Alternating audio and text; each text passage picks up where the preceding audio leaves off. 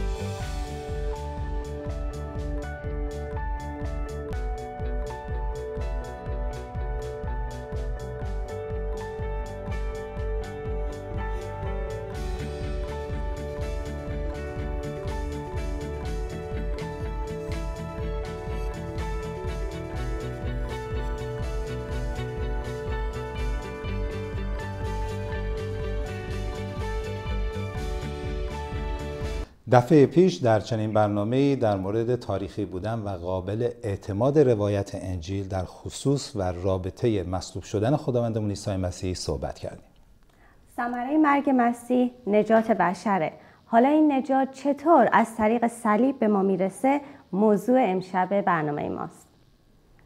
خیلی خیلی خوش اومدید کیوان عزیز و خوشحال هستیم که قسمت دوم راز صلیب رو می‌تونیم این راز رو با هم باز کنیم البته با کمک شما سلام عرض می‌کنم خدمت شما و خدمت شما. همینطور خدمت بینندگان عزیز برنامه. سلام دارم و جا داره که تبریک بگم عید پاک رو رستاخیز خداوند ما عیسی مسیح رو. هرچند که چند روز ازش میگذره ولی از لحاظ اصولی در کلیساهای جهان خصوصا در کلیساهای سنتی ما در فصل رستاخیز هستیم. بله. Easter season بهش میگن. و تا پنجاه روز کلیسا این واقعه عظیم رو جشن می‌گیره. به شکلهای مختلف در دعاها این شادمانی رستاخیز خداوند و پیروزی صلیب در واقع جشن گرفته میشه در پنجاه روز که شامل بله. روز رستاخیز خداوند هر از رستاخیز شروع میشه از عید پاک یک شنبه قیام و بعد ما عید سعود رو داریم بعد از چهر روز و بعدش تا روز پنتیکاس بله. که نزول روح القدس هست و این ایام شادترین دوران کلیسا هست در کنار کریسمس و بیشتر عیدهای مسیحی و فیست های مختلف مثل عید سن مارک یا همون مرقس بله. و رسولان مختلف خیلیاش توی این تاریخ افتاده و کلیسا در این پنجاه روز به طور خاص بر راز رستاخیز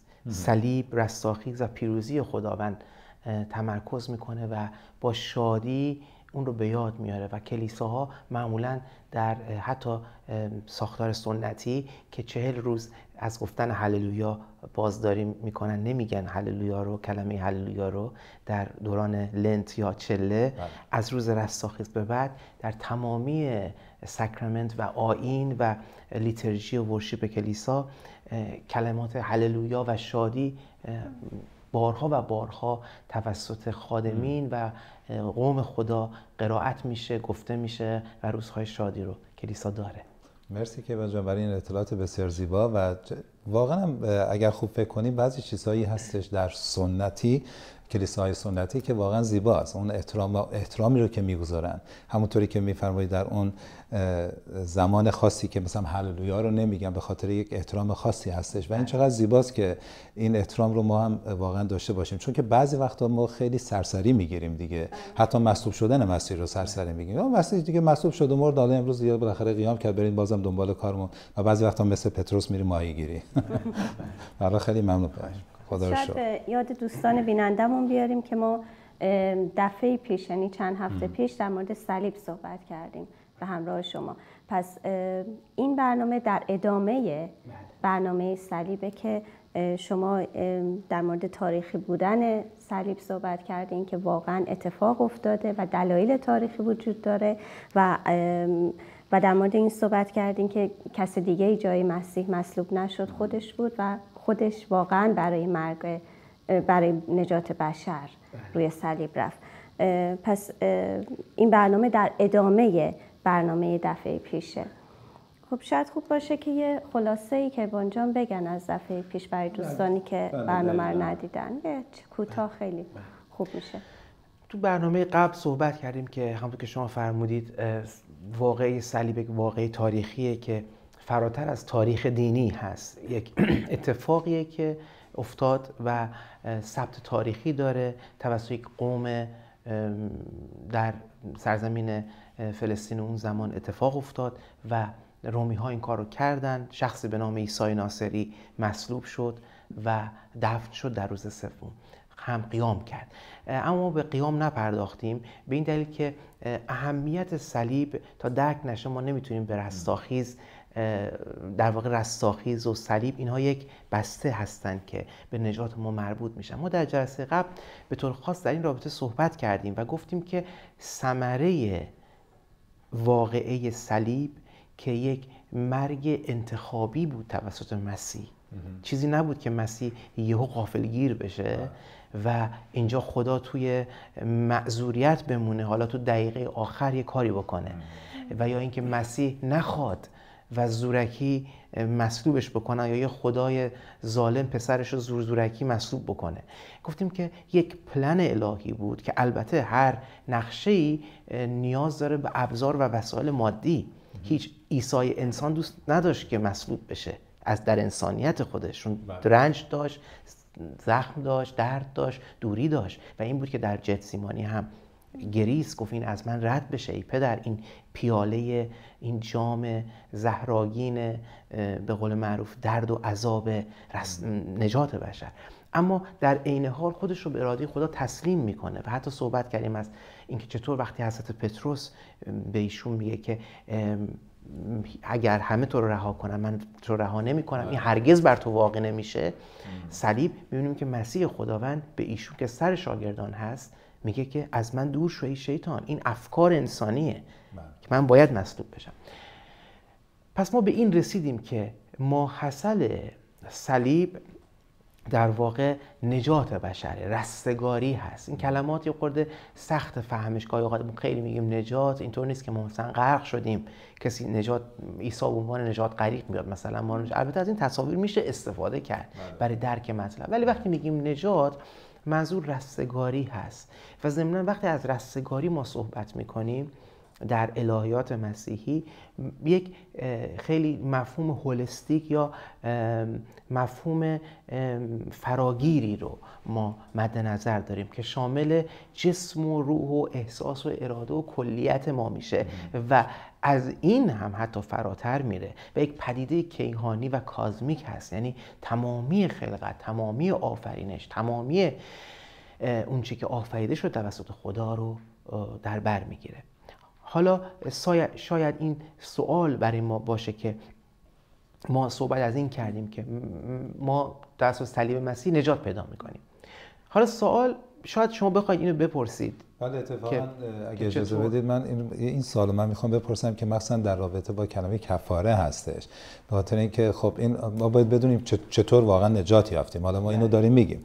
وعظم می‌کنیم به مردم این بشارت رو هم بدیم که حالا به نحوی غرق شدیم مثلا میگیم با در گناهان ما بله، غرق شدیم. ولی حالا ببینیم که واقعا از چطوری ما نجات پیدا کردیم به چه قوت و قدرتی نجات پیدا کردیم. من یکی از آیات زیبا رو که داشتم می‌دیدم نگاه می‌کردم میگه که صلیب قوت خداست. پس حتما در اونجا یه قدرتی بوده که توسط آن و مرگ عیسی مسیح ما نجات پیدا می‌کنیم. و بعضی وقتا که ایوان ما خودمونم وضع می‌کنیم. میگیم که مثلا مسیح عیسی برای ما کفاره شد برای گناهان ما کفاره شد. و اینا رو اگر بتونیم امشب بله. بیشتر باز کنیم. مخصوصا که چطور ما نجات یافتیم. بله. چه اتفاقی افتاد. بله. و چه چیزی واقعا برای ما کفاره شد خیلی ممنون میشه ممنونم.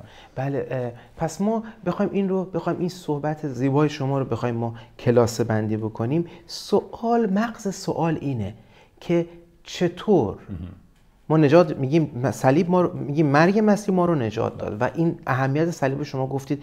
قدرت خداست میگه هاشو از من فخ کنم جز از صلیب. صلیب صلیب که قوت خداست میگه و حکمت خداست. جای دیگه میگه پولس رسول نیامدم پیش شما چیز دانسته باشم جز مسیح و آن هم مثلا جای دیگه میگه من با مسیح مصلوب شدم زندگی که در جسم می‌کنم اینک بر ایمان بر پسر خدا می‌کنم که خود رو داد و منو مثلا تولد تازه به من داد. حالا من تحت لفظی که یادم حفظ نیستم تمام آیات ولی سوال اینه که چطور صلیب ما رو نجات میده؟ سوال ما حول این میچرخه. ما واقعا اینکه بخوایم وارد این مطلب بشیم من می‌تونم خواهش بکنم چند تا از آیات رو بخونیم بله که ما به قول معروف ستون فقرات این الهیات کفاره یا الهیات نجات رو اصلا به کفاره می‌رسیم. ستون فقرات این الهیات رو بتونیم بفهمیم چیه؟ که اگه به یاد داشته باشید من توی خیلی برنامه گذشته بارها گفتم یکی از منابع و سورس هایی که الهیات ازش استخراج میشه. فکر کنید اگه الهیات رو بگیم الهیات رو بگیم گلد یا طلا اون مخازنی که ازش این طلا استخراج میشه یکی از اصلی ترین منابع اون به باور هم پروتستان ها که میگن سولا تنها و حتی به باور کلیساهای سنتی که میگن پرایما اصلی کتاب مقدسه. کتاب مقدس سورس الهیات سورسیه که منبعیه که الهیات مسیح ازش استخراج شده. در طی قرون توسط کلیسای جامع رسولی مسیح در 2000 بله. سال. حالا می‌خوام چند تا آیه بخونم اگه اجازه بدید. از می‌تونم خواهش کنم که انجیل مرقس باب ده آیه 45 رو اگه لطف کنه یه نفر بخونه. و دومین آیه که می‌خواستم هست اول پتروس دو 24 پس مرقس ده 45 و اول پتروس دو 24 پس اگه اجازه بدید من مرقس رو بخونم. بله. هنگام جان اجازه می‌دید من مرقس رو بخونم؟ اجازه بعد دو تا دیگه هم داریم البته. حتما حتما به اونم خواهیم پرداخت. 100 درصد. پس از انجیل مرقس باب ده آیه 45 چنین می‌خوانیم. چنان که پسر انسان نیز نیامد تا خدمتش کنند بلکه آمد تا خدمت کند و جانش را چون بهای رهایی به عوض بسیاری بدهد. پسر انسان نیامد که خدمت بشه بله. بلکه آمد که خدمت بکنه, و جانش رو برای این کلمه تکنیکال می‌خوام تو ذهن بینندگانمون باشه الان و خودمون که می‌خوام صحبت کنم چون من بینا برمیگردم. بهای رهایی بده تو قدیمی ترجمه قدیمی بله. میگه فدیه بله. توی انگلیسی میگه رنسم پس این بهای رهایی بله. این کلمه پس کلیدی بود شما اگه لطف کنید برای من بخونید اول پتروس فرمودین بله. دو بیست و چهار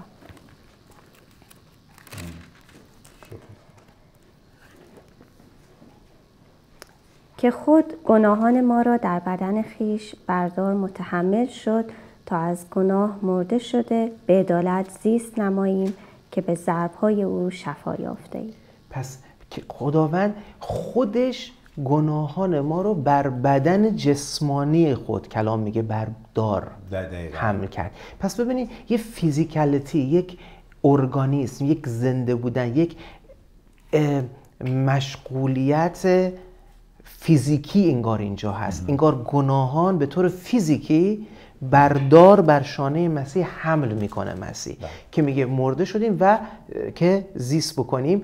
جایی که دیگه بعد تو اشعیا 53 میگه به ضربه های او ما شفا یافتیم. و تعدیب سلامتی وی ما, بله. ما بر وی آمد. بله. تعدیب سلامتی ما بر وی آمد. یعنی ادب شدن اینکه ما سلامتی رو به دست بیاریم شفا رو پیس رو شالوم رو بر عیسی قرار گرفت اون تعدیب رو. حالا دو تا آیه دیگه من می‌خواستم از شما خواهش کنم. دوم قرن دوم قرنتیان پنج آیه 19 تا 21 رو شما بخونید. دوم قرنتیان 5 19 تا 21 و کولوسیان باب یک آیه 20 تا 22 پس می‌خواید من بخونم دوم قرنتیان بله. رو؟ دوم قرنتیان 5 19 تا 21 بله. و کولوسیان کولوسیان یک 20 تا 22 بله. پس خوبه که من بگم که من از ترجمه هزاری نو می‌خونم. بله. بله. پس دوم قرنتیان باب 5 آیه 19 تا 21 چنین میفرماید. میفرماید و گناهان مردم را به حسابشون نمیگذاشت و پیام آشتی را به ما سپرد. پس سفیران مسیح هستیم. به گونه ای که خدا از زبان ما شما را به آشتی می‌خواند. ما از جانب مسیح از شما استدا می کنیم که با خدا آشتی کنید. او کسی را که گناه را نشناخت در راه ما گناه ساخت تا ما در وی پارسایی خدا شویم. آمین. پس ببینید باز کلمه کلیدی این آیه چیه؟ مصالحه یا آشتی. بله. مصالحه یا آشتی. بین خدا و انسان انگار انگار رابطه به هم ریخته رابطه خراب شده. که شده؟ که اینطوری اینطوری داره میگه این متن. حتی یعنی شما اصلا داستان آفرینش نخون. بله. اصلا شما کتاب مقدس نخون. هم یه آیه داره میگه. بله. مصالحه باید بین خدا و انسان اتفاق بیفته. و ما سفیرانشیم خادم میگه حضرت پولس رسول می‌فهمد خادمشیم که میگه چیکار کرد؟ ما رو مصالحه داد. مصالحه اینجا باید اتفاق میفته. آشتی. پس این هم یک کلمه کلیدی آشتی. شما لطف کنید اگر کلشان رو برم من از ترجمه قدیمی در واقع دارم می‌خونم. دوم کولسیان بیست. یک بیست. و اینک به, وساطت او همه چیز را با خود مصالحه دهد چون که به خون صلیب وی سلامتی را پدید آورد. ولی به وسیله او خواه آنچه بر زمین و خواه آنچه در آسمان است. و شما را که سابقا از نیت دل در اعمال بد خیش اجنبی و دشمن بودید بالفعل مصالحه داده است. در بدن بشری خود به وسیله موت تا شما را در حضور خود مقدس و بی عیب و بی ملامت حاضر سازد آمین. انقدر این آیات عمیقه انقدر این آیات زیباست و الوهیه و آسمانیه که اصلا الهیات مسیحی من به عنوان از, از ساختار حتی کلیسای سنتی میگم شما اصلا کتاب مقدس رو هم نمیدار نداشته باشی. این اصلا 66 تا نباشه 1060 تا باشه. چهار تا باشه. اصلا یه دونه باشه. هم یه آیه باشه. همین برای کلیسای مسیح. هم یه آیه. کافیه که از توش بتونه الهیات صلیب و رستگاری رو استخراج کنه. همین یک آیه. میگه شما اجنبی قریب و دشمن خدا بودید. به واسطه موت موت صلیب شما رو به خودش آشتی داد. جای دیگه شما خوندید میگه او که گناه رو نشناخت در راه ما گناه ساخت. یعنی گناه رو بر خودش کرد بعد تو این آیه که شما فهمیدین بازم میگه بر, بر خودش بدنش حمل کرد. باز هم فیزیکالیتی و اتفاق فیزیکی که با یعنی چیز تخیلی یه نفر دعا کنه بره تو زن عیسی بشینه اونجا مثل یوگی ها و چیزا بشینه بره تو زن دعا کنه برای قومش نبود. یه بها باید پرداخت می‌شد. شفاعت کنه من برای قومم شفاعت می‌کنم این حرفا نبود. حرف بزنه با خدا با یه کسی حرف بزنه بعد بگه ای قوم شما بخشش. این حرفا نبود. بهای ملموس بود. بهای ملموس. این بدن باید پاره پاره می‌شد روی بله. صلیب. این بدن میخ زده می‌شد. این بدن باید رنج رو تحمل می‌کرد. خب پس ما این کلماتی که استخراج کردیم حالا می‌خوایم کنار هم بذاریم و من الهیات صلیب رو اینجا بگم که چی بوده در رابطه با نجات پس ما از مصالحه گفتیم از بدن مسیح که با دار می‌کشید گناه رو بر او گناه شد صحبت کردیم بهای رهایی صحبت بله. کردیم فدیه وقتی که پدران کلیسا اومدن روی این آیات من پنج تا دونه آیه به شما اینجا خوندیم بله. که پنج تا نیست که این یک عالم آیه است هزاران آیه است از عهد عتیق تا عهد جدید. و حتی من معتقدم نوشته های بین العهدین و چیزهای دیگه ادبیات یهودی و بقیه چیزها. وقتی اینا رو کنار هم می‌ذارن پدران کلیسا و همینطور رسولان میان استخراج می‌کنن الهیات صلیب رو. ما کلمه که خیلی صحبت می‌کنیم ازش کلمه کفاره هست. بله. و این کلمه اتونمنت ترجمه شده کلمه به نام کفاره تو فارسی که البته کلمه کفاره شاید برای یک ایرانی مفهوم برسونه. کفاره یعنی پوشش یعنی قرار گرفتن یه چیز روی یه چیز دیگه یه چیزی رو قایم کردن یه چیزی رو پوشوندن. اما کلمه اتونمنت یه کلمه که ریشه, ریشه لاتین داره و به معنای مصالحه دادنه به معنای یونایت کردن دو, دو تا طرفه. دو نفر رو متحد کردن. یکی کنه به هم بچسبونه مصالحه بده. پس مفهوم اصلی کفاره در مصالحه نهفته است. حالا چطور؟ ما می‌خوایم ببینیم که چهار تا مفهوم رو بر اساس این آیات و هزاران آیات دیگه من فقط چهار تا اشانتیونی از توش در آوردم. پدران کلیسا استخراج کردن و در طول تاریخ اینها گسترش پیدا کرده برای فهم ما از واقعه صلیب. صلیب از نجاتی که از صلیب میاد. اولین تئوری که وجود داره تئوری sacrifice یا قربانیه. که من می‌تونیم آیات که وقتی نگاه می‌کنیم تمام به رساله به عبرانیان. بله. رساله شکوهمند عبرانیان در این, یه دونه است. در رابطه با اینکه در یهودیت کاهن اعظم یهودی ها باید قربانی می‌کنن حیوانات خدا داد در تورات مقدس در عهد اول خودش گفت شما گناه کردی باید بمیری. نشانه عشق تو و بازگشت تو به من اینه که حیوانی قربانی میشه و این خون این حیوان پوششی میشه برای گناه تو. و خدا از گناه تو میگذره و رابطه صلح برقرار میشه عهدی با تو بسته میشه. سال یک بار باید این کار انجام میشه توسط کاهن اعظم. اونم فقط در قدس الاقداس. و برای خودش و دیگر خودش و بقیه. بله. رساله به ابرانیان داره حول تمام این داستان میچرخه که مرگ صلیب تصاویر می‌خوام الان در واقع من چی رو بگم؟ من در واقع الان می‌خوام تصاویری که کتاب مقدس از مرگ صلیب میده به ما که ما اینو درک بکنیم و بگم.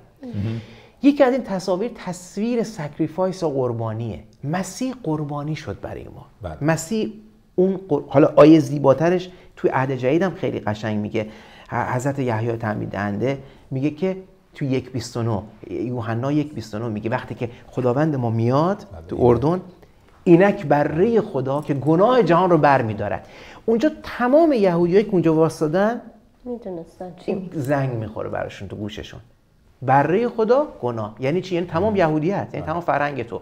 مثل که بگی به یه ایرانی هفت تمام دو هزار از کوروش گرفته تا امروز میاد جل چشش. متوجه میشه. برای یهودیت انقدر این آشناست. گناه جهان رو این آقا بر میدارد اینک بره خدا. نمیگه این آقا میگه این بره خداست. و اشاره می‌کنه مستقیم به عیسی مسیح. بله، عیسی مسیح. پس اولین تصویر که من فکر می‌کنم که از مهمترین تصاویر برای فهم صلیب مسئله قربانیه قربانی sacrifice. بره خدا قربانی. برای خدا قربانی میشه. مثل که الان تلفن داریم. من اجازه قطع می‌کنم. بله، لطفا. سلام عرض می‌کنیم خدمت شما بیننده عزیز. ببخشید شما رو پشت خط نگه داشتیم. بفرمایید. خواهش می‌کنم. سلام خدمت شما. خیلی تشکر می‌کنم از برنامه خوبتون و تشکر می‌کنم از مهمان محترم برنامهتون و کیوان عزیز. متشکرم. هستم من اگه یه مقدار بلندتر صحبت کنید خیلی ممنون میشم. بفرمایید. بله خواهش می‌کنم. دیدم که موضوع برنامهتون در مورد رازهای صلیب هست. من در ایران که هستیم در حال کلیسا که میریم و کشیش کلیسا موعظه که می‌کنن در رابطه با صلیب.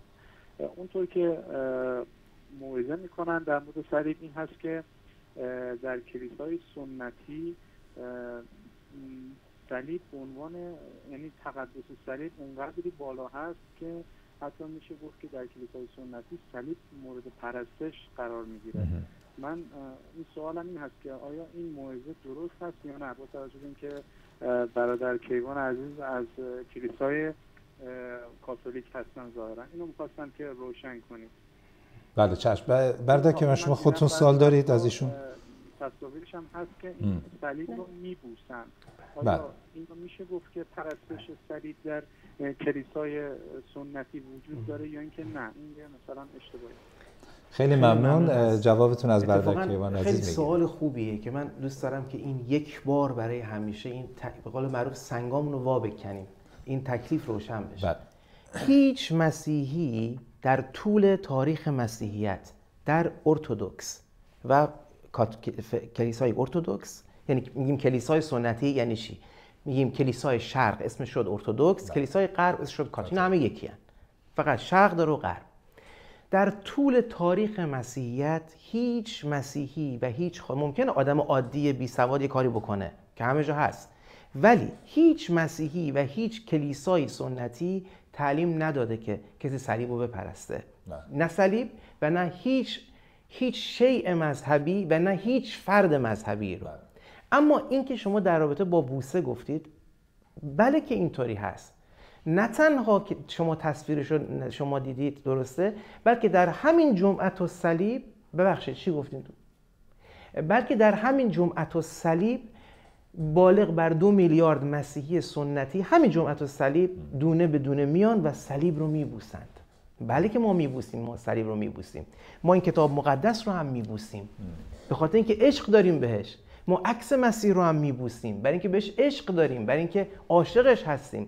شما ممکنه خودتون پدر یک فرزند باشید یا پدر مادرتون عکس همسرتون. وقتی شما عشق دارید بهش اون عکس رو میبوسید. آیا شما میپرستید کسی رو که میبوسید؟ عکسی رو که میبوسید شما میپرستید؟ نمیپرستید. احترام شما انقدر به این عشق میورزی که اون رو میبوسی. این نشانه حرمته. پس احترام که بهش میگن ونریشن تو الهیات با ورشیپ که اسمش از پرستش غلطه. پس اون شبانی که به شما اینو گفته اون اطلاعات بسیار غلطی داده چون این اطلاعات رو نمی‌دونسته. اما در رابطه با اینکه ونریشن یا احترام گذاشتن به یک شخصیت ممکنه به در جایی بین کسی در دوره از تاریخ به افراد هم بره. بله. افراد بی سوادی باشن که از این دید غلطی برداشت بکنن. اما به این معنا نیست که آموزه رسمی کلیسا یا فهم کلیسا از یک پدیده این هست. مثل این بله. میمونه که ما عطایا رو داریم در کلیسای پروتستان. عطایا وسیله هستند برای چی؟ خدمت کلیسا. اما عطایا رو شما نمیپرستی. بله شما روح القدس رو میپرستی. چون که مکتوب هم هستش. ما فقط خدا رو میپرستیم. خدا رو میپرستیم. مثلا میگه که سر ما در اتعتیق هست حالا یا من دقیقا نمی‌دونم کجا میگه سر ما در برابر هیچ چیزی هیچ تمثالی فلانی خم نشه به جز خود خدای واحد یگانه یعنی بله. فقط پرستش او را میشاید بله. فقط و فقط بله من شخصا خودم هیچ وقت نشنیدم که کسی هیچ کشیشی بله. هیچ رهبر مذهبی بگه صلیب رو بپرستی من میگم شاید دوستمون اشتباه, اشتباه. متوجه شدن. البته نه این البته وجود داره. من این سوء تفاهم ها رو بارها دیدم که مثلا گفته میشه که کلیسای سنتی مریم میپرستن مقدسین میپرستن. اینها کاملا بیپایه و بی لحاظ تاریخی و از لحاظ مکتوب الهیاتی این کاملا بیپایه است. این یک بیس لیس وجود نداره هم چیزی. اما نکته مهم اینه که ما به دلیل اینکه زبانهای پرستشی متفاوتی داریم با هم دیگه. ما همه یه جور نیستیم. شما وقتی پرستش می‌کنی شما با جاز با آهنگای شاد و با جست و خیز کنان جای داوود پادشاه میگه در حضور خدا جست و خیز بله. می‌کنه در حضور تابوت عهد ولی همون داوود پادشاه می‌بینیم در اتاقش میگه وقتی در بستر خود آرمیدم دارم دعا می‌کنم بله. همونجا ما تو کتاب مقدس تصویر از جست و خیز داریم که مریم خواهر موسی داره جست و خیز می‌کنه آهنگ می‌خونه در خداوند. جای دیگه داریم حضرت پطرس میگه زانو می‌ذارم نزد آن پدر. بله. خب پس زبانهای پرستشی استایل های پرستشی مثل استایل های لباس پوشیدن با content یا اون مفهومی که پشت یک حقیقت وجود داره کاملا با هم دیگه متفاوته. شیک پوشیدین امروز؟ من فکر کنم که. جواب این سوال رو ما دادیم. ولی بله به دلیل اینم ما باید متوجه باشیم که مسیحیت یهودیت نیست. مسیحیت هیچ آین دیگه ای که اعتقاد داره ما به یه چیزی که نمی‌بینیم و نمی‌شناسیم و نمی‌دونیم کیه و نه رنگ داره نه بو داره نه خاصیت داره. همچی خدایی نداره مسیحیت. بله. مسیحیت میگه خدا انسان شد. خدا جسم گردید. به دلیل اینکه خدا جسم گردید خدا شخص خدا در عیسی مسیح به دنیای ما وارد شد. کلمه جذب کردید کلام بله. کردید لوگوس جذب کردید و عیسی پسر خدا هست. اینه که ما میگه او صورت خدای نادیده است. او آیکون خدای بله. نادیده است. اینه که برای یک یهودی شاید تصور دیدن خدا کفر و شرک بود. ولی برای یک مسیحی این نیست. اتفاقا که جان این برای اینه که ما آیکون ها و شمایل ها رو داریم. برای اینکه خدا جز شد. اجازه داد ما او رو ببینیم. و اتفاقا من صحبتتون رو قطع کردم. اتفاقا برای الهیدانان مسیحی پدران شهید کلیسا در قرون اولیه و خصوصا در منطقه خاورمیانه من یه بار توی برنامه اسم بودم یوحنای دمشقی مثلا جان آف دمسکس این بسیار اهمیت داشت برای اونها. که در پولمیک خودش در دفاع از ایمان مسیح به کسایی که بهشون می‌گفتن شما صلیب میپرستید شما عکس مریم میپرستید شما عکس عیسی میپرستید چون اینا احترام میذاشتن به آیکون احترام گذاشته میشه در کلیساهای سنتی. در روز جمعه جمعت و صلیب به نشانه سمبل صلیب مسیح صلیب بوسیده میشه. اینو می‌گفتن بهش. و یوحنای دمشقی و سایر پدران کلیسا سر این موضوع ایستادن و شورای هفتم کلیسا هفتمین شورای ecumenical شورای جهانی کلیسا جهانی کلیسا یعنی شرق و غرب دیگه نداره برای همه مسیحیات. بله. اینو تصویب کرد که صلیب مقدس altar یا همون مذبح مقدس کلیسا تصاویر خداوند ما فرشتگان مریم و مقدسین مورد تکریم و احترام قرار بگیره. چون اینها حقیقت دیگه ای رو جلوه‌گر می‌کنه. ولی در همون جا هم گفته شده که پرستش تنها و تنها شایسته بله. ذات تقدیس تسلیس اقدسه دقیقا هم همین هستش بله من اتفاقا در رابطه با همین صحبتتون به فکرم رسید چون صحبت باز شد. اولا خاطرم میاد که در مورد آیکانا ما صحبت کردیم بله. در همین برنامه های زنده. بکنم تو چیزشون ببینن بله قشنگ. می‌تونن عزیزان از طریق یوتیوب به برنامه های مثلا شما وارد بشن و آنها رو ببینن. ولی در این رابطه خدمتتون از بکنم مثلا در اول پتروس خوندیم و در کولسیان هم خوندیم. در بدن رو اشاره کرده. خب ما می‌دونیم که کلام خدا میگه که خدا روحه. بله. و روح که خون نداره. روح که نمی‌تونه بیاد قربانی بده. برای هر قربانی باید خون ریخته بشه. پس این صحبت هم اینو می‌خوام اتفاقا اشاره بله. بکنم. حالا باز شده همین در این بستر هم تحویل بینندگان عزیز بدیم که بدنی میبایستی باشه. بله. این بدن میبایستی قربانی بشه. همون یوحنا ببخشید یحیای تنبیدنده که میگه بره خدا. منظور همون جسمی که باید باشه و این جسم باید خونش ریخته بشه. و از خون ریختن اوست که ما واقعا شستشوی گناهان میشیم و این کفاره یا همون پوشش یا همون مصالحه‌ای که به وجود میاد این دوتا آیه خودش خیلی خیلی قشنگ به ما نشون میده که یک بدنی باید باشه ولی این بدن باید بدن قدوسی باشه. بله. هر بدنی نمیشه. کیوان جان اگه اجازه بدید خواهش می‌کنم. شما هم خسته نشید و بینندگان عزیز هم بریم با هم دیگه یک میان برنامه داشته باشیم و باز برمیگردیم به برنامه. با ما باشید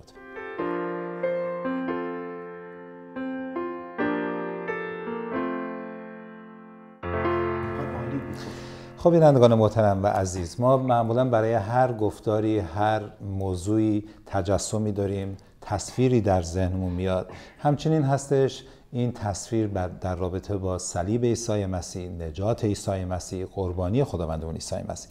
یکی از این تصاویر بسیار زیبا رو برادر عزیزمون کیوان شرط دادن که قربانی خداوند ما عیسی مسیح برای نجات تمامی بشر است. می‌خوایم از کیوان عزیز بپرسیم که بقیه تصاویرش هستن. اما قبل از اینکه شما تصاویر رو به ما بگید بیشتر توضیح بدید یه بیننده دیگه پشت خط هستن. اگه اجازه بدید تلفن رو برداریم. سلام عرض می‌کنم خدمت شما. بفرمایید. الو؟ سلام. سلام. با تشکر از شما بردن خانم و کشیش کیوان محترم. شقایق هستم. از کرد تماس می‌گیرم. می‌خواستم خدمتتون عرض کنم که من چون نمی‌دونستم در مورد کلیسای سنتی و مراسم با شکوهشون تنها با گفتهای در کیوانه که مراسم خودم دارم به تنهایی انجام میدم. به امید روزی که من هم جمع برادران و خواهران کاتولیک بتونم این مراسم رو انجام بدم. من خیلی دوست داشتم کشیش کیوان یه سایتی داشته باشن که بشه با جزئیات این مراسم رو ما بیاموزیم. ولی واقعا شما کشیش میتن واقعا متشکرم به خاطر دعوتتون از کشیش کیوان و همچنین کشیش کیوان که میپذیرن ولی در برنامه ها حضور پیدا می‌کنن.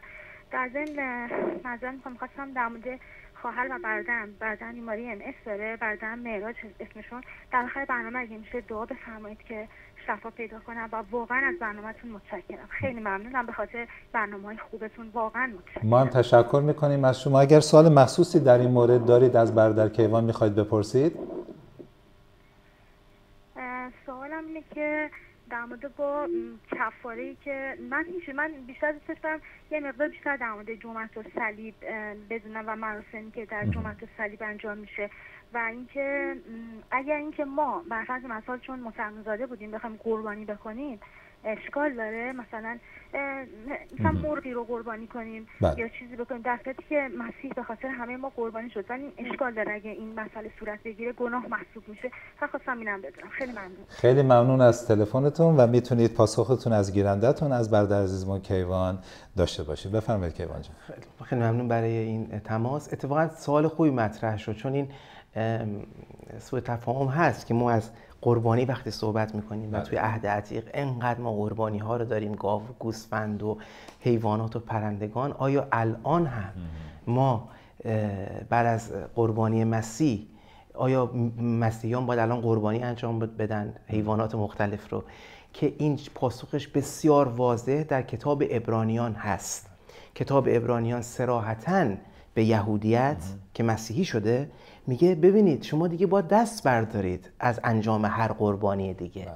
برای اینکه قربانی ها و اون سیستم قربانی حیوانات در عهد عتیق یک سایه ای از واقعیت نهایی بود که پسر خدا باید میومد و قربانی می‌شد. کاهن و ویکتیم کاهن و خود قربانی. بله. مسیح خودش کاهن اعظمه و در عین حال کاهن اعظمی که خودش این بار قربانی می‌کنه خودش رو برای بشر.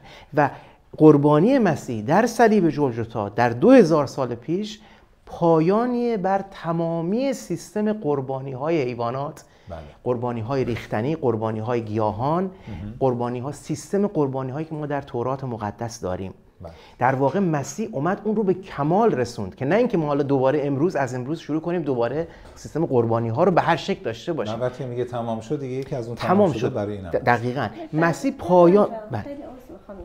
ادامه بدین توی تلفن دیگه داریم.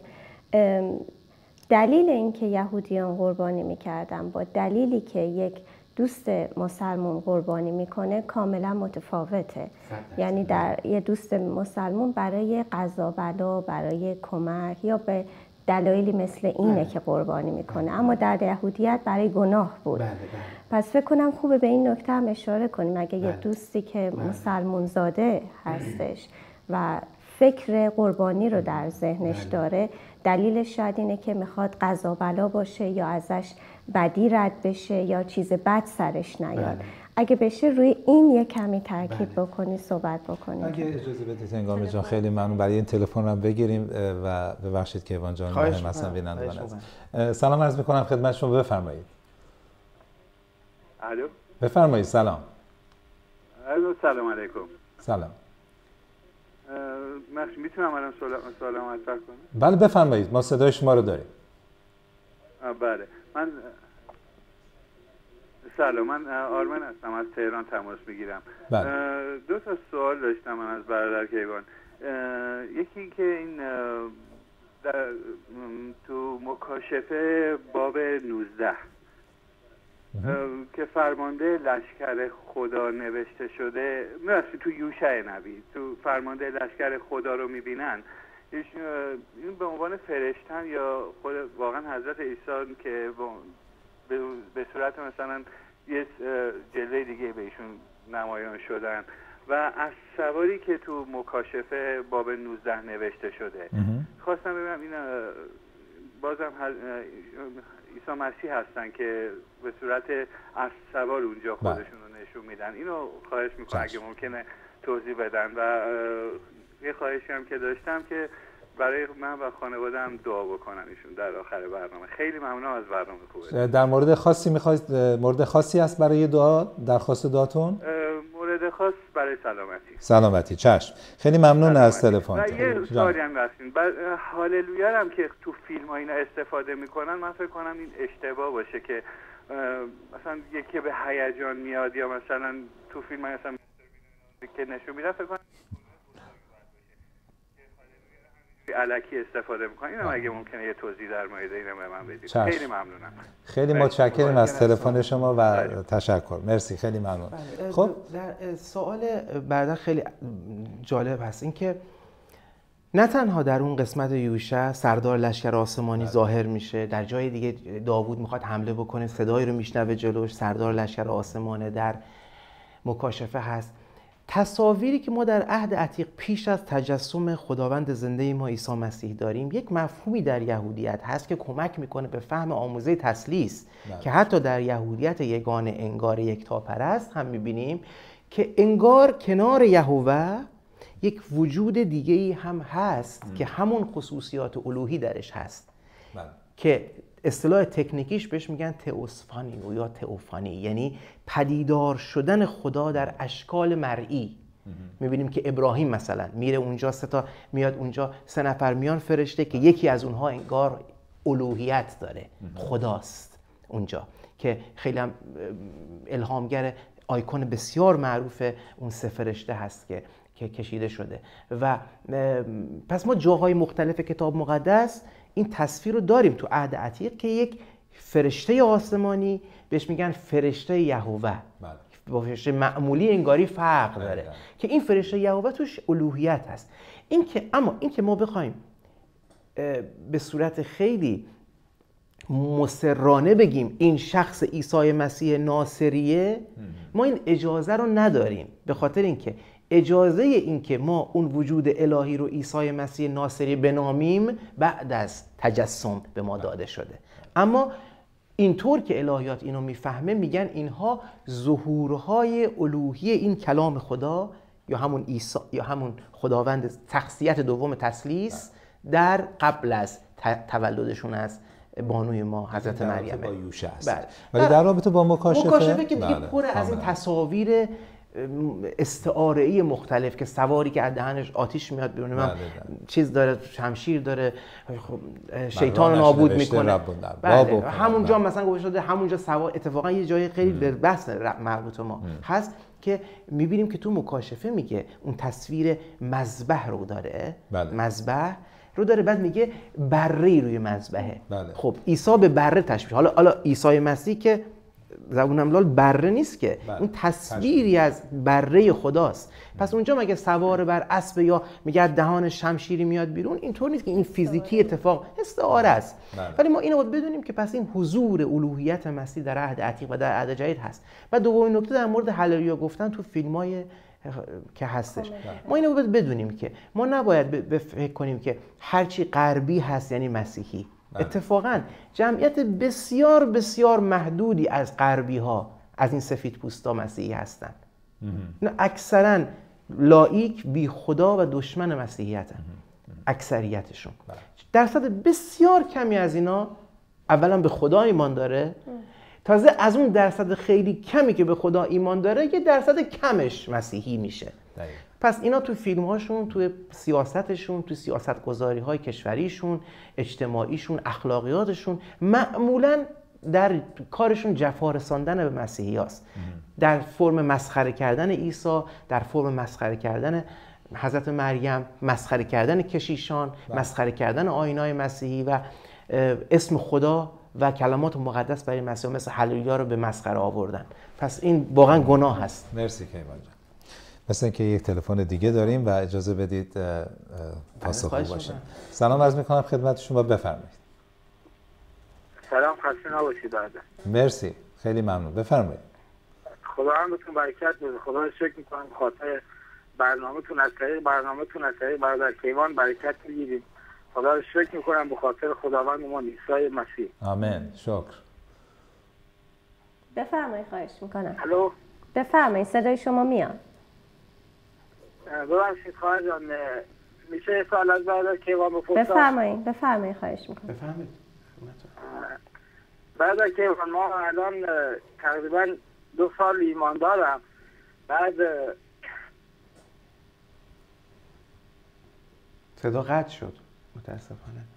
فکر کنم باید لطف کنم صدا رو از صدا رو از تلویزیون نشنوید خواهش می‌کنم. سعی کنید که از تلفنتون من با با تلفن دارم حرف می‌زنم خدمت پس صدا یه کمی دیر می‌رسه. بفرمایید خواهش می‌کنم. صدای شما میاد. بله. داشتم خدمتتون عرض می‌کردم. دو سال ایمان دارم بعد تو شهرمون برای که ساختار کلیسایی ما نداریم. با سه چهار از برادران جمع میشیم میریم تو دشت و کوه و بیابونا میشینیم و خدا رو پرستش می‌کنیم خدا رو جلال میدیم. ولی برادر که ما بلد نیستیم باید چی کار کنیم؟ هر چی میریم خدا رو جلال میدیم بعد میگردیم دوباره اون شادابی اون تلاوتی که باید داشته باشیم و نداریم. ما کلام داریم اونجا کلام می‌خونیم. بعد من یه ماشین دارم وظیفه رو به خداوندم خدمت کنم. برادرم رو جمع می‌کنم میرم اون آخه. من می‌تونم جواب بدم. بله کنم امیدوارم برادر بشنون صدای با اینکه قطع شدن. اتفاقا من می‌خواستم اینو بگم که ایشون گفت ما کلیسا نداریم. من می‌خوام بگم اتفاقا شما کلیسای حقیقی رو دارید. اتفاقا اون کاری که شما دارید می‌کنید کلیسای حقیقی مسیحه. جایی که دو یا سه نفر به اسم مسیح جمع میشن. و خصوصا در جفا خصوصا در تنگی خصوصا در نداری نداشتن امکانات. دعا می‌کنن اسم او رو جلال میدن کلام رو می‌خونن. اونجا کلیسای راستین مسیحه و پدر پسر روح القدس اونجا ساکنن بله. بین شما. اما اینکه میگین شادابی رو نداریم هزار و یک عامل ممکنه وجود داشته. سختی زندگی سختی جامعه بله. مسائل مالی مسائل زندگی اینها هست. و عوامل متعدد بسیاری ممکنه دخیل باشه که شادابی رو از ما بگیره. منم خیلی اوقات شادابی رو ندارم. بله. شما هم ممکن بله. نداشته باشید. اتفاقا کسانی که در کلیساهای پرجلال کاتدرال های آنچنانی کلیساهای جامعه که واقعا وقتی آدم میره حضور خدا رو با اون زیبایی نقاشی ها می‌بینه حس می‌کنه اینطور نیست که همه در حالت روحانی عالی باشن. ما هم هر روز به خاطر اینکه در دنیا زندگی می‌کنیم هزار یک عامل مختلف است که شادابی رو از ما می‌گیره. گناهانی که خودمون می‌کنیم شخصی بله. و تازه تصمیم گرفته با تصمیم گیری این کارا رو بله. می‌کنیم اشتباهاتمون بله. گناهان آگاهانمون ضعف های شخصیتیمون عادت هایی که باش حمل داریم می‌کنیم باش میجنگیم ولی اسیرشیم هنوز. و عوامل بیرونی. یه نفر اذیتت می‌کنه یه نفر به یه جور بد صحبت می‌کنه ناراحت میشی ترافیک خیابون. اینا همه عاملایی که از ما می‌گیره مشکلات مالی بیپولی ولی اون چه که مهمه اینه که ما به یاد داشته باشیم کلیسا مسیحیت کتاب مقدس برای این نیست که ما حالمون خوب بشه. برای این نیست که ما وقتی که الان مسیحی شدیم فکر کنیم الان جلسه کلیسایی رفتیم باید حالمون انگار رو ابرا داریم راه میریم. بله. اگر بشه که چقدر عالی خدا رو شکر. اینه که ما بدونیم به کی ایمان آوردیم بدونیم که زندگی ما عوض شده بدونیم که به کی تعلق داریم بدونیم که وقتی از این جهان رفتیم با خداوند خواهیم بود. بدونیم که سرباز مسیحیم سفیر مسیحیم محبوب مسیحیم خادم مسیحیم روح او در ماست. و اینها ما رو کمک کنه که ما این سفر عمر رو به سلامت به سرمنزل مقصود برسیم و بتونیم به, به حیات جاودان دست پیدا کنیم. ولی از اون جایی که مسیح رحمت محضه از اون جایی که ذاتش محبته تو این مسیر زندگی به ما شادی میده به ما شفا میده وضعیت مالی ما رو ممکنه خوب بکنه ممکنه مشکل کار ما رو برطرف کنه بیماری های ما رو شفا بده همه اینها باهاش میاد. بله. ولی به خاطر این نیست. میگه اول ملکوت رو بطلبیم. ملکوت یعنی خدا یعنی عیسی یعنی خودش یعنی خود مسیح. که ملکوت خداست. باقی اون چیزا اون شادی ها بر شما مزید خواهد شد. اینه که بعد از شما زیاد اصلا نگرانی نباش که بعد از روز دعات که با دوستات کردی تو کوه و هر جا دوباره احساس پایین بودن می‌کنی. دل قوی دار ادامه بده. ناامید نشو. با برادرات دعا کن. در روی زانوانت بمون. روزه بگیر برای موضوعی که هست. از دوستای حتی دوستای خوبی که شاید مسیحی نیستن اما دوستای خوبی هستن. به شما رو به چیزای خوب هدایت می‌کنن. ارتباط داشته باش باهاشون. خیلی عوامل هست که کمک می‌کنه. من فکر می‌کنم این نظر منه. حالا اگر شما هم چیزی بفرمایید. مثل اینکه تلفن دیگه داریم. بله. طوری که متوجه شدم این تلفن رو پاسخ بدیم با اجازهتون.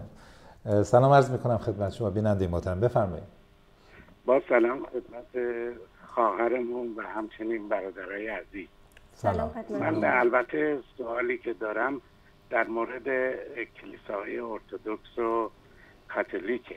بله. و اون صحبتی که الان برادر کیوان کردن در مورد اون تمثال ها یا مجسمه ها که به صورت خیلی مقدس هم چیز می‌کنن اینا آیا نشأت گرفته از سنت رومیان نیستش؟ چون رومیان فکر می‌کنم اون زمان بیشتر با مجسمه ها حتی خود سزار سعی می‌کرد که مجسمش همه جا باشه و یعنی بیشتر تو سنت خود رومیان نیست. اینو می‌خواستم اگه ممکنه جواب بدیم خیلی ممنون. خدا بش مرسی از تلفنتون. خیلی ممنون. بردار کیوان عزیز. بله. سوال خیلی خوبی بود. بعضی ها سعی می‌کنن که واقعیت تاثیرگذاری پیرامون ما رو بر کیفیت ایمان ما نفی کنن و بگن نه مثلا چیز پاستوریزه است که همینطور از آسمون افتاده همونطوری باید انجامش بدیم. هر مذهبی. هر مذهبی اتفاقا. بله تاثیر گرفته از رومی هاست تاثیر گرفته از یونانی هاست الان شما می‌خوای کتاب مقدس الان دیگه رو آیپد می‌خونی. تاثیر گرفته از فرنگ انگلیسی هاست. الان شما کچلوار تنته و کروات لباس خارجی ها رو تنت کردی. عیسی مسیح ردات میپوشید. ردا میپوشید چون یهودی بود تو اون زمان بود. اگه توی این قرن میومد احتمالاً کچلوار تنش می‌کرد. حتما کروات هم می‌زد. ما موجوداتی هستیم که با دوره خودمون با اطراف خودمون کنش داریم ارتباط داریم و اتفاقا راز پایایی مسیحیت در اینه که اتفاقا پدران مقدس کلیسا خیلی بدون شرم بهش میگن آن اشیمدلی ببخشید تو گوش من. تو بدون شرم دارن با خیلی سرافرازی میگن. بله. میگن مسیحیت تمام عناصر خوب دنیای بیرون رو می‌گیره مال خود می‌کنه و اصطلاح خوبی رو به کار میره میگه تعمیدش میده و الوهیش می‌کنه. کار مسیحیت اتفاقا اینه. کار مسیحیت اینه که دنیا رو که مال خداونده هر چیز خوبی که در این آفرینش هست مال خداونده. از نقاشی از هنر از مجسمه سازی از رقص از هر چی که شما فکر بکنید. مسیحیت اینها رو گرفته اینها رو بپتایز کرده اینها رو تعمید داده اینها رو دو... اینها رو الوهی کرده. یعنی اومده دنیا رو ماده رو رنگ خدایی بخشیده و این هنر و اعجاز مسیحیته. این پیروزی مسیحیته که مسیحیتی که سرورش توسط رومی میاد مصلوب میشه 300 سال بعد تمامی امپراتوری روم رو امپراتوری روم رو به زیر پیغام صلح مسیح میاره بدونی که خونی از دماغ کسی بریزونه. بله. شمشیری برای کسی نمی‌کشه وقتی میره می‌گیره. و این با هم شکل این دنیا شدن فرق می‌کنه درسته؟ دقیقا فرق می‌کنه. برای اینکه ما اگر بخوایم آدمای عجیب غریبی باشیم مثل آدمایی که از سیاره دیگه اومدن که هیچ کس نمیاد سمت ما با ما حرف بزنه. مسیحیان همینطور. پولس اسمش اصلا رومیه. اسمش رومیه. نمیخوش همه شاول صدا نمی‌کنه میگه پولس. اپولوس همه اینا یونانی بودن رومی بودن یونانی و رومی حرف می‌زدن همون کالچر رو داشتن. احتمالا غذای رومی و یونانی میخوردن و توی خانواده رومی فریخته بزرگ شده بودن. هزاران مجسمه دو اطرافشون داشتن هنرهای مختلف رو داشتن ولی وقتی مسیحی شدن این رو آوردن در خدمت ایمان مسیحی. و اصلا قرار نبود که چیزی تأثیر نگیره. حتی یهودیت. یهودیت هم وقتی که اومد در ایران در زمانی که اینا از بابل اینا, اخ... اینا رو زدن بابلی ها اینا رو اسیر کردن بردن بابل. بعد کوروش کبیر اومد بابل رو گرفت. خب اینا رو هم گرفت دیگه و اینا رو آزاد کرد. هفتاد سال تبعید تو هفتاد سال یک عالمه چیز ایرانی یاد گرفتن و بعد با خودشون آوردن. و این یک کاری که هر روز ما این کارا رو انجام میدیم و مسیحیت هم این کارو کرده. و یک اصطلاح تخصصی الهیات هست که حتی فلسفه چقدر به, در به کمک رفته به کمک ما اومده و ما در الهیات مسیحمون استفاده می‌کنیم. میگیم میگیم میگیم فلسفه دستاموز الهیات شد. فلسفه دستاموز الهیات شد. اومد در خدمت مسیحیت. هنر اومد در خدمت مسیحیت. برای بیان این واقعه عظیم جسمندی گوشتمندی خدا برای انسان شدن اینه که تمثال ها بله شما در مصر هم تمثال داری. اصلا از دوران بشر اولیه ما تمثال داریم. و موزیک هم اینطوریه بعد بله موزیک... موزیکی که در دنیا بود در اون زمان ببینیم بله. که در پرستش البته دست یهودیت بوده بله. هم... همواره بود همون مریمی که اشاره کردم به خواهر موسی می‌بینیم دف می‌زنه میرقصه بله. و بعد اومد به طرف بله. مسیحیت و مسیح منتها آن چیزی که نیکوست ما اون رو می‌گیریم و چیزهایی که به هر حال دنیوی و زشته و معانی بدی داره شیطانی و غیره و غیره ما طبیعتا از اون استفاده بله. نخواهیم همین موزیکی که شما خودتون تخصص دارین در حتی ورشیپ لیدر خیلی خوبی هستید. و حتی شما نوازنده جاز هستید. جاز جاز اصلا چه ربطی به مسیحیت داره؟ جاز چه ربطی به یهودیت داره؟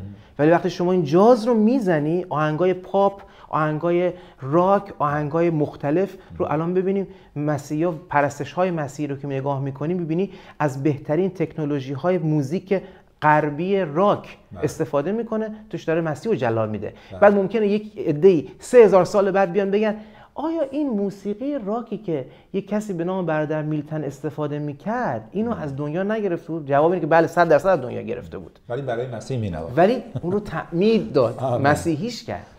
مسیحیت خالص خالص نداریم چون که در کنار اقوام دیگه در فرهنگ های مختلف ما زندگی بله. می‌کنیم آغشته میشه به بله. بگیم بگیم مسیحیت خالصی داریم که مسیحیت خالصی داریم که از همه چیز استفاده می‌کنه. مسیحیت خالص اتفاقا معنیش اینه. نه منظور این که هیچ چیز دیگه واردش نشده. بله، بله، از این نظر بله. خالص از اینکه یا, یا یک فرهنگ مسیحی ما بله، نداریم بله. و جدا نشده نیست یعنی فقط ایزوله شده نیست. مثل که یه تلفن دیگه هم داریم که جان. سلام عرض می‌کنم خدمت شما. ببخشید پشت خط نگه داشتیم شما بفرمایید. سلام علیکم. سلام. سلام. شبتون بخیر.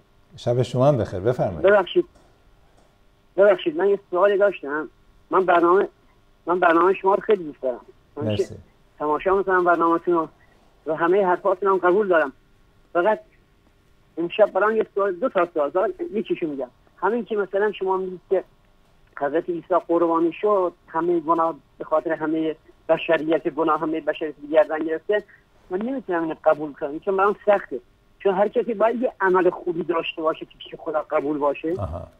وقتی یه شخص یه عمل خوبی انجام بده عمل بد انجام بده که نمیشه. باید خودش به شخص یک عمل خوبی داشته باشه کار خوبی انجام بده که پیش خدا قبول باشه. همین به سوالتون؟ بله. شبکه آره دیگه می‌خوام اینو مثلا بهتر بدونم. اگر شبکه شما من تماشا می‌کنم. خیلی هم دوست دارم. چون شبکه دیگه هم تماشا می‌کنم.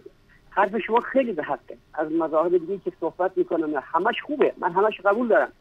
یعنی قشنگ با دقت گوش میدم. همه مسلمان ها یا مثلا شیعه این کار ندارن. همه میگن کار شما خیلی به حقه. اختیار داره یعنی من در که خودم از حرفای شما دارم و خودم تو ذهن خودم در جانم فقط این این یه سوال برای من خیلی سخته. قبولش.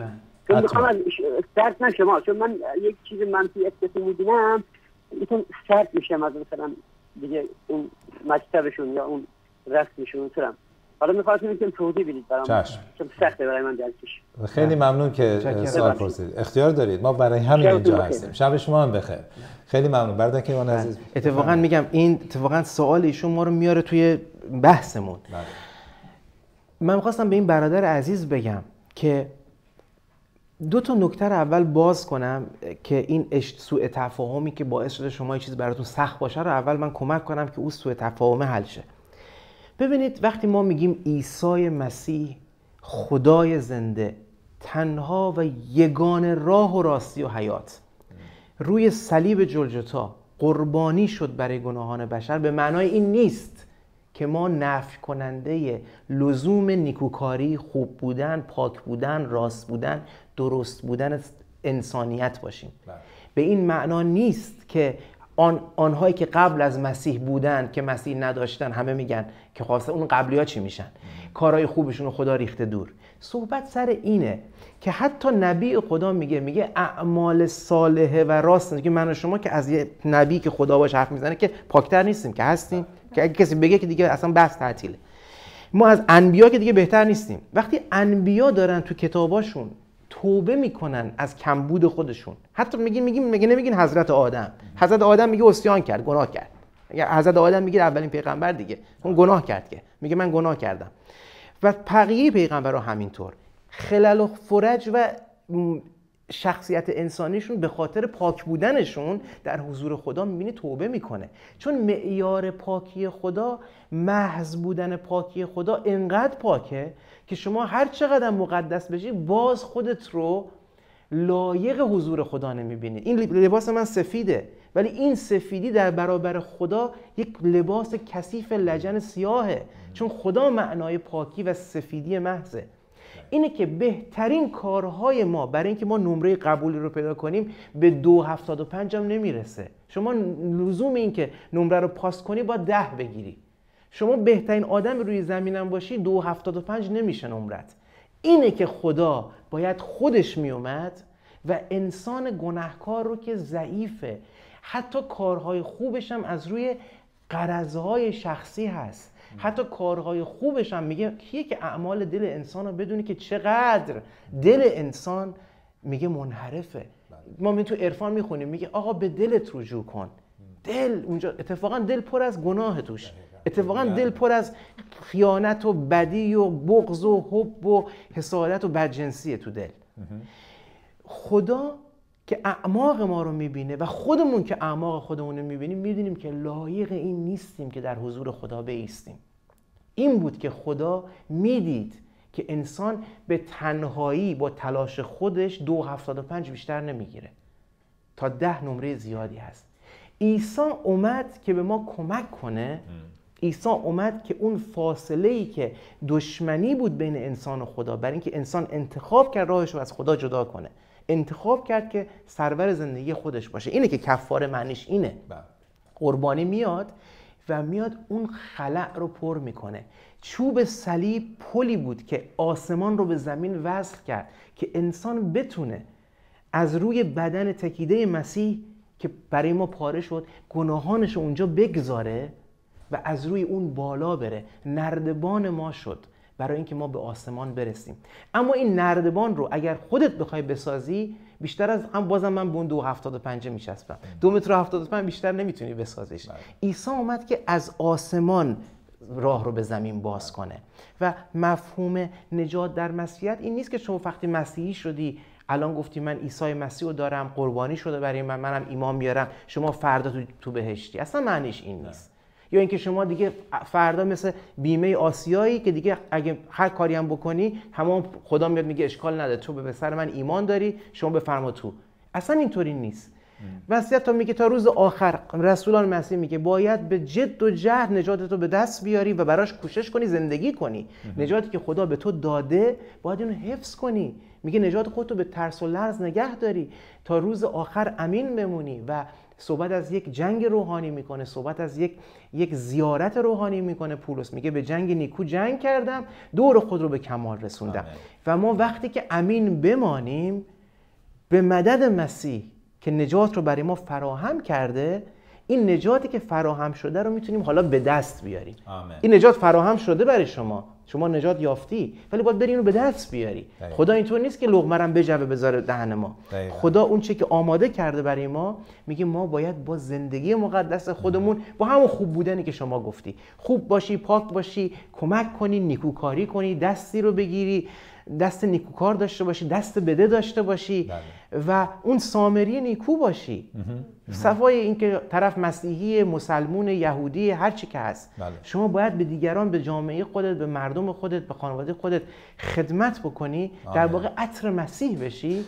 دقیقا. این, و این اتفاقا دقیقا. بیانگر اینه که ما باید نیکوکاری حتی بکنیم. کلام خود ما رو تشویق می‌کنه بعد از نجات ما. متون نجات که صحبتشو می‌کنیم نیکوکاری ها ممکنه از ظاهر مسئله رو بیان بکنه. بله. نیکوکاری نمی‌تونه درون منو عوض بکنه. بله. ظاهر منو می‌تونه نشون بده به مردم. ولی عیسی مسیح درون منو وقتی که عوض می‌کنه اون تولد تازه رو به من بله. میبخشه طبیعتا من بهتر می‌تونم نیکوکاری کنم.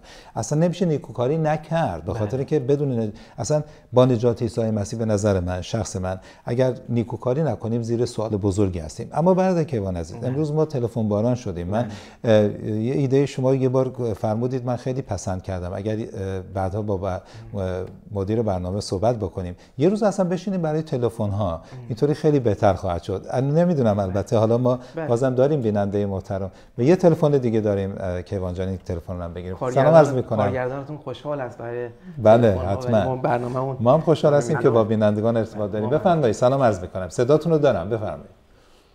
الو؟ سلام عرض می‌کنم. الو؟ سلام شما صدای من رو دارید الو؟ سلام علیکم. سلام. سلام علیکم. سلام علیکم. سلام عزیز. بفرمایید. صدای. شما خسته نباشید. بله بله. لطفا از طریق تلفنتون صحبت بکنید از طریق گیرنده حال نه چون خوبه؟ تخ... تاخیر به وجود میاد. خیلی ممنون. بفرمایید. حال شما خوبه قربان. تشکر. مرسی. بفرمایید. ببخشید سلام گرم خدمت آقای در ایوان اون گیرنده رو کمش کن. بله گیرندهتون رو کم. بعد خواهش می‌کنم. بعد می‌خواستم دیدم برادر کیوان مشخص کنن که البته سوال زیاد چیزی نیست. مشخص کنن که این برنامه مثلا این سریال و فیلم بشارت منجیر مثلا طریق شبکه ایران نگاه می‌کنیم. بعد به اضافه این که اصلا این اه، عیسی مسیح واقعا به صلیب کشیده شده. یا نه. این که از طریق قرآن و از طریق از طریق مسلمان ها مثلا باید شده به طور صریح جواب بده. بله. این که اگر از نظرها باید شده اون راهب مسیحی که به حضرت محمد این منجیز چیزداری بود که به حساب پیامبر دیگه میاد باید ببینیم اینم درسته یا نه. چشم. حتما. خیلی ممنون. خیلی متشکرم برای سوالتون. حتما. البته ما در برنامه پیشین برادر عزیزمون که ما مفصلا توضیح دادن از نظر تاریخی و اون اعتماد به اون روایتی که در انجیل است ثابت کردند که عیسی مسیح مصلوب شده و همان هستش که امروز هم صحبتشو می‌کنیم. ولی ما بقیه سوال رو اگر پاسخ بدید پاسخ به این سوال رو من فکر می‌کنم به خاطر اینکه برای اینکه یک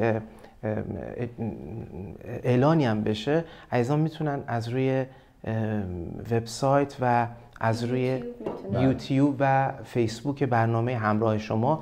هفته قبل برنامه من یا قبلتر دو تا قبلتر برنامه من راز صلیب رو ببینن. من پاسخ دادم به طور جدی.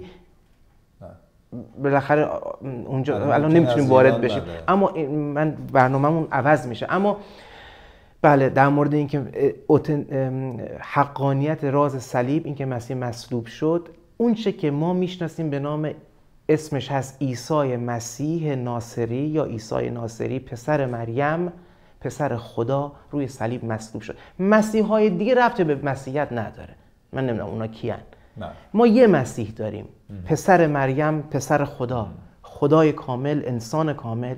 33 سال روی زمین زندگی کرد و بر روی صلیب جلگرزا مصلوب شد مرد خنجر زده شد. بر روی صلیب دفن گردید و در روز سوم از میان مردگان قیام کرد و فرمود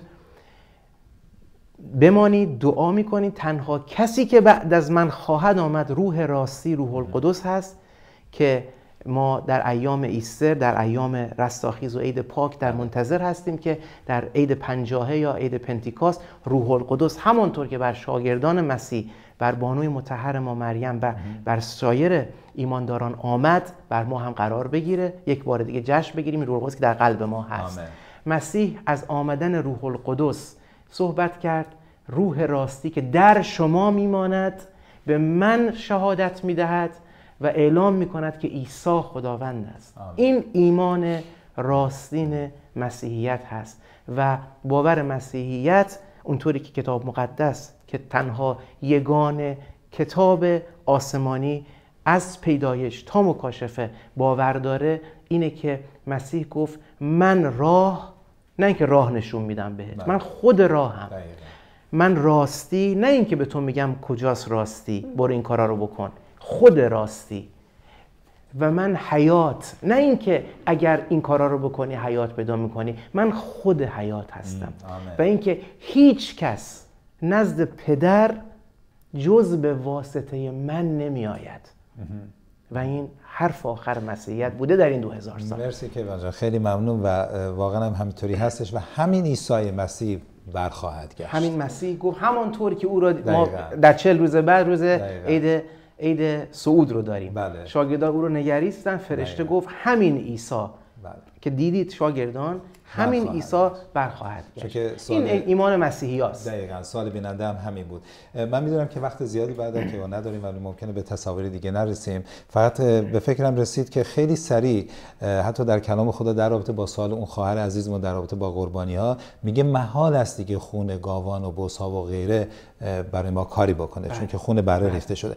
اما هنگامه عزیز اگه خودشون خاطرشون باشن سوالی بله. کردن. اگه خیلی سریع این سوال هنگامه رو جواب بدید چون که فکر می‌کنم خیلی سوال مهمی بود که آیا قربانی در ادیان دیگر توضیح دادن که برای بله. رفع قضا و قدر آیا برای یهودی هم همچنین بود یا مال اون اصلا کاملا کاملا بله. فرق داشتن؟ یه مقایسه مختصری من می‌خواستم بگم که برای یه دوست عزیزی که از زمینه مسلمون هستن قربانی برای رفع قضا و قدره. بله. یه کمی فرق می‌کنه با اون مفهومی که در یهودیه یه کمی که نه کاملا متفاوته.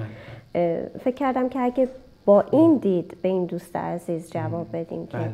ایشون با این دید شاید به فکر قربانی بله. هستن. بله در, در یهودیت قربانی برای آمرزش گناهان برای مصالحه که خوندیم کلام. بله. مصالحه بین خدا و انسان بود که در اون مصالحه شفای جسم قضا و قدر رابطه با خدا قربانی سلامتی و همه چیز نهفته بود. چون در یهودیت از شالوم یا سلامتی یا صلح صحبت می‌کنه.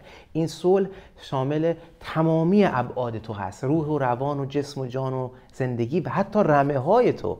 میگه حتی برای گاو و گوسفند و خانواده تو حتی زمین تو برکت می آورد و ما به دلیل اینکه بره واقعی خدا بر روی صلیب یک بار و کتاب ابرانیان می‌فهمه کتاب شکوهمند ابرانی همیشه من اصطلاح رو به کار می‌برم که می‌خونن. این کتاب کسی یک بار بخونه انگار یک کورس سریع بین تمام عهد عتیق و عهد جدید.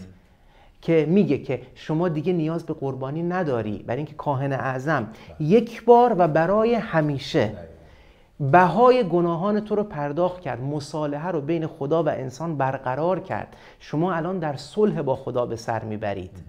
و این اولین تصویر از تصاویر صلیب بود که من اصلا تو این برنامه نرسیدم. چهار پنج تا تصویر دیگه داریم ما بله. که فکر نمی کنم اصلا برسیم و فکر کنم بذاریمش بمونه برای هفته بعد شاید.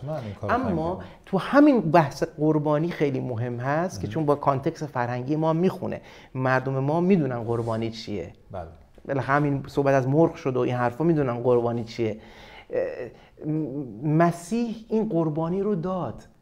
قضا و قدر و بدی و نفرین و نکبت و بیبرکتی و چشم این و چشم اون و جادو جنبل و اینا همه تمام شد بر ما. بله. مسیح رابطه رو شفا داد رابطه ما با خدا رو. یعنی مسیح که میگم یعنی خدا آماده کرد برای ما این کار رو. خدا ابتکار عمل رو به دست گرفت ذات خودش رو وجود خودش رو قلب خودش رو کلام خودش رو عشق خودش رو فرستاد برای ما. هیچ نیازی دیگه به قربانی وجود هیچ نداره نیازی به قربانی وجود نداره. هیچ نیازی نداره که ما با هیچ کاری با هیچ کار اضافه که ما بکنیم نمی‌تونیم خودمون رو نزد خدا مقبول کنیم. ما نمی‌تونیم با یک کار دینی با یک کار آینی نجات رو پیدا کنیم. نجات رو خدا برای ما در مسیح در صلیب مسیح و ایمان بر مسیح و زندگی با مسیح فراهم کرد در کلیسای مسیح. آمین. تلفن دیگه گویا داریم از بله. بفرمایید خواهش می‌کنم. سلام عزیزم. سلام خدمت شما. بفرمایید خواهش می‌کنم. از می‌خوام می‌خواستم از پیشش کیوان سوال کنم. اونهایی که دعای نجات رو نشنیدن تکلیفشون چی میشه؟ یعنی اونا در حقشون اشخاف نشده که از دنیا رفتن؟ یعنی تا حالا مثلا کسی نبوده اونا رو آگاه کنه. مثل خود من من الان حدود نه ماه از ایماندار شدم. همینجور خیلی افسوس می‌کنم که چرا زودتر این مثلا دعای نجات رو نشنیدم. و افسوس می‌کنم برای پدرم که مرد خیلی خوبی بود و از دنیا رفته. مادر بزرگم هم افسوس برای اونا می‌خورم. میگم چجوری شد اونا دعای نجات نشنیدن؟ و آیا مثلا تکلیف اونا چی میشه؟ شرمنده اگه ممکنه. یه سوال دیگه هم دارم. این گروه های پروتستان و ارتودکس و کاتولیک این چه معنایی داره؟ ما خودمون پروتستانیم مثلا چجوریه این اگه میشه برای من بشکافید متشکرم. من از طریق من 13 نفر ایماندار شدم. متشکرم. خدا نگهدار. خدا نگهدار. من سریع جواب بدم اینو. این چون دغدغه همه هست. فکر می‌کنن به پدر بزرگشون مادر بزرگشون عزیزشون که اصلا مسیحیت رو نشناخته. یا هزاران آدم خوبی که مثلا تو تبت چینن الان. مثلا ممکن هیچ وقت هم نشنون. آیا خدا یه خدای ظالمیه که اونجا بگه تو نشنی در مورد پسر من؟ بی برو تو جهنم. ابدا اینطوری نیست. کتاب مقدس واضحا در رومیان میگه و همینطور تعلیم پدران مقدس کلیسا. اونهایی که نشنیدن بر اساس وجدانشون بر اساس قلبشون بر اساس رابطهشون با اون خدا و اون شریعتی که داشتن بله، اینها داوری میشن. حالا اینی که کجا میرن هیچ واعظی نمی‌تونه به شما جواب بده. برای اینکه اگه قرار بود جوابا رو ما بدونیم که دیگه ما خدا بودیم. و اون خدایی که قرار باشه همه جوابا رو به ما بده دیگه خدا نیست اسمش. اینه که ما بدونیم که یک مسائلی هست که به ما داده نشده فهمش چون ما اصلا قاضی نیستیم ما اصلا کاری نیستیم بخوام قضاوت کنیم در مورد انسان ها حتی در مورد سایر ادیان ما اجازه نداریم قضاوت کنیم در مورد هیچ انسانی ما اجازه نداریم قضاوت کنیم. و چه بسا در برابر آدم های خوب و کسانی که خدمات بزرگ به بشریت کردن یا حتی آدم های خوب ساده دل که زندگی خوبی داشتن ولی مسیح رو نشناختن یا اصلا براشون باز نشد. بله. اینه که ما نمی‌تونیم بگیم. ولی یک برای اینکه شما دل بدونید که کارهای خدا عظیمه شما داستانه بسیاری میشنوید از ایمانداران که میگه در لحظه آخر عمر می‌بینیم که مسیح بر اون شخص ظاهر میشه. بله. ولی اون ممکن نمی‌تونه صحبت کنه بگه داره کیو می‌بینه. ولی میگه من یه نوری می‌بینم موقع مرگ شخص. ولی اون مسیح رو داره می‌بینه. یا یا عوامل مسیح یعنی فرشتگان رو داره می‌بینه. مثل دزد بالای صلیب اون افرادی که 40 متر پایین تر واسطه بودن که نمی‌دونستن مسیح دارن این دو نفر چی دارن با هم پچ پچ می‌کنن. بله. ممکنه افرادی که 100 متر دورتر بودن نشیدن که مسیح به اون شخص گفت امروز با من در فردوس خواهی بود. بله. ممکنه اون ته نشستن و بگن این دوز داره میره جهنم جایی که اون یکی دوزه میره. ولی نمی‌دونن که مسیح تو گوش این شخص گفت با من امروز در فردوس خواهی بود. چه بسا که بسیاری با مسیح در فردوس هستند بدونی که پیغامو شنیده باشند. بله. بدونی که شنیده باشن یه واعظی همیشه میگه میگه از دو چیز من تعجب می‌کنم. یکی اینکه برم آسمان ببینم که من اونجام و یکی دیگه کسایی رو ببینم توی آسمان که توقع نداشتم ببینم. پس خدا رو شکر که ما خدا نیستیم و نمی‌تونیم از جای خدا صحبت کنیم. خدا عادله. خدا عادله. بله. عادل هستش و اعتماد کنیم به عدالت خدا. صد درصد. و وقت ما خیلی کم هستش چون وقت دعا باید داشته باشیم. ولی قول می‌دید که ما این مپس رو اون تصاویر خیلی مهم هستن. اگر قول بدید به ما که حتما تشریف خواهید آمد. و این رو ادامه خواهیم داد. و سوال دوم خواهر عزیزمون هم در رابطه با پروتستان و کاتولیک رو می‌ذاریم. ما چون که خیلی صحبت رو بله. می‌کنیم خواهر عزیز ما شما همین برنامه رو نگاه بکنید حتما جوابتون رو خواهید گرفت. یه تنفس کوتاهی خواهیم داشت و سریع می‌رسیم به دعای شما عزیزم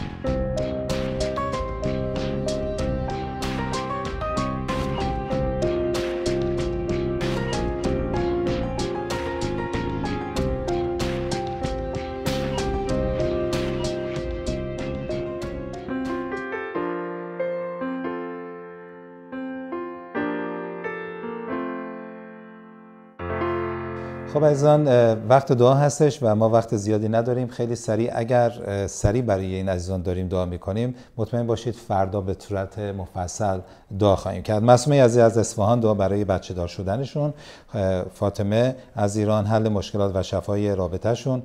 واحد از کردستان دعا برای پیدا کردن یک کار خوب. آذر دعا برای ازدواج.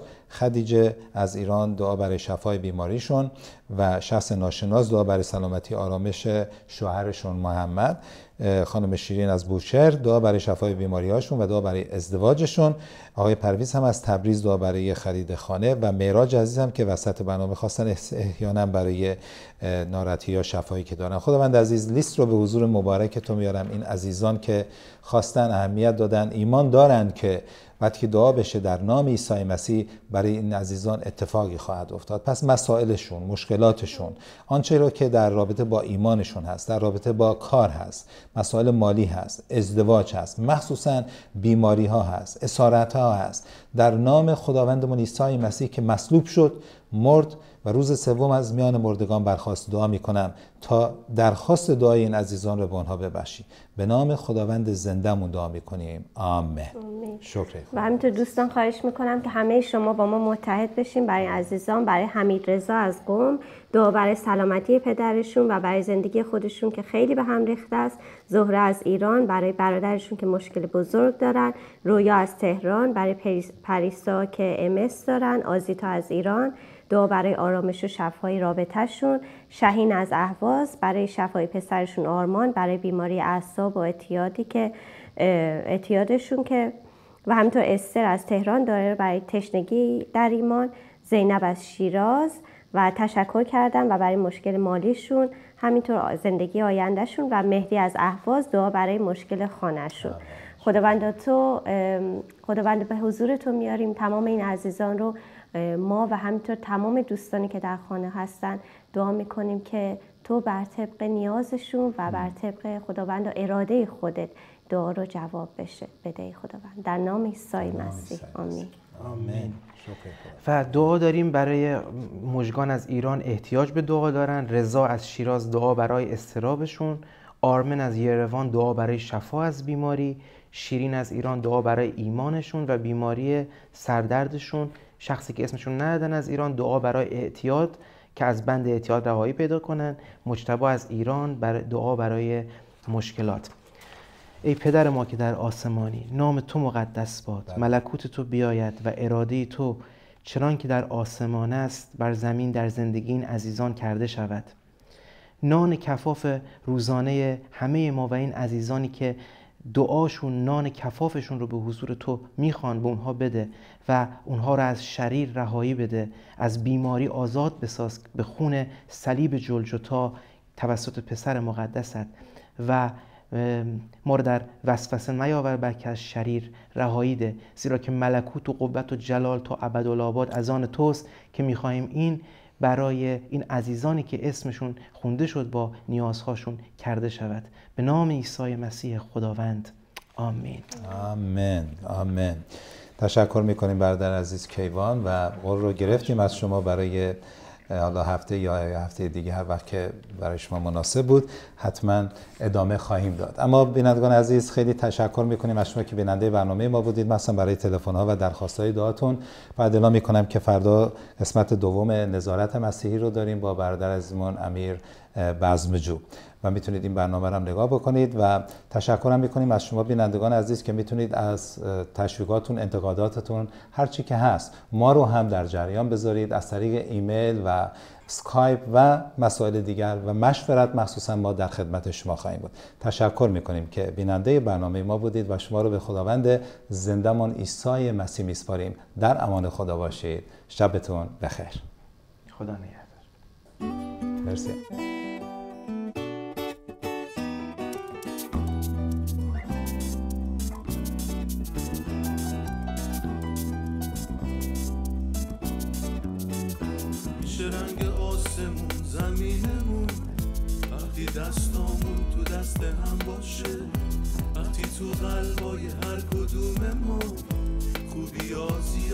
سختی ها کم باشه. میشه همراه شما پل بزنیم از سیاهی به سپیدی و امید. با خدایی که نگاهش به شماست. میشه آسوده به خوشبختی رسید.